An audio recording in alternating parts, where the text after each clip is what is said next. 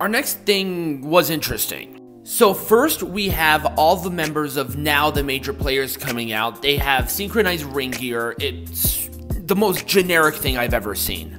I mean, I see creative in WWE 2K22 more creative. Hell, I see stuff in 2K20 that's more creative. Just purple flames. Ooh.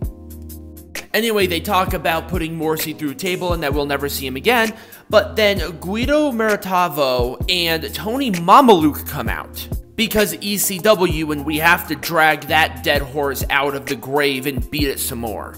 I'm sorry, I'm kind of sick of it. So that led into Guido challenging Matt Cardona for the Impact Digital Media Championship, which is what happened. Guido looks emaciated, even more so than he was back in 2005. But it was radio silence for him to win. W. Morrissey came out to help, and also Jordynne Grace. Interesting little dynamic there.